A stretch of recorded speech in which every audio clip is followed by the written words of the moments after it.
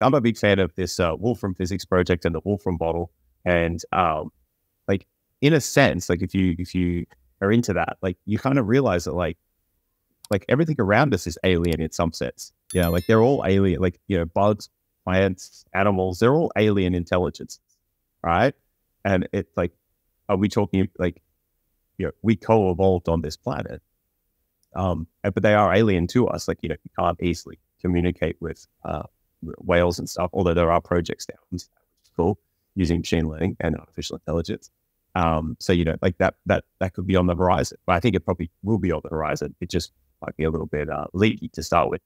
Um, but like, yeah, yeah, there are aliens all around us. Um, whether or not there are things from other planets or other areas that are, are evolved in those areas that have come over to check us out or anything else, I, I don't know. I like that there's um random sort of, or not random tangent, but like slightly tangential is um I like these theories of people who are like, oh, we won't get accepted into the galactic star fleet until we prove that we can manage, like, be kind and caring to all of the living species on this planet, or uh, until we prove that we can, like, you know, not be a fucking clown show with our governments and all this other stuff. Or um, once we develop a certain level of technology, we'll be we'll be contacted by the, uh, the Federation and they'll come down and accept us into the Starship Enterprise. Yeah, like not Starship Enterprise, uh, into the Galactic Federation, right? Um, so I kind of like that's kind of fun to think about sometimes as well. But like uh, there is all this other stuff out there, and we're sort of like we're in this little um, ignorance bubble at the moment. And once we develop a certain level of knowledge and and um, technology, that then we'll be like the, the curtain will be pulled back, and it'll be like, oh shit, this was everywhere. We never even saw it. I agree. And you made a good point. Like, there's aliens all around us.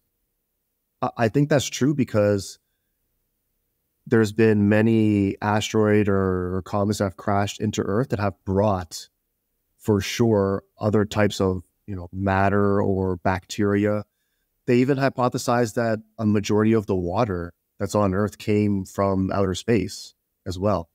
Sort of guy. Everything on Earth came from outer space, motherfucker. We live in outer space. Right, right, right. But you know what I mean? but I, yeah, I know. Yeah, yeah, I know. we yeah. are in outer space, homie. Like, yeah, we, just, that's yeah, true. We just we forget about space. Yeah, it's a great. We point. just forget about it.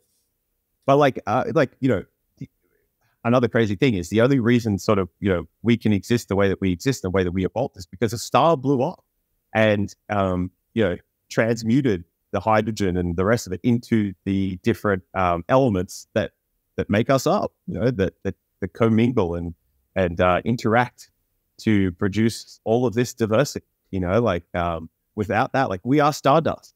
That's just a crazy thing. Like it, like we really are. Like we wouldn't be possible without a star blowing up.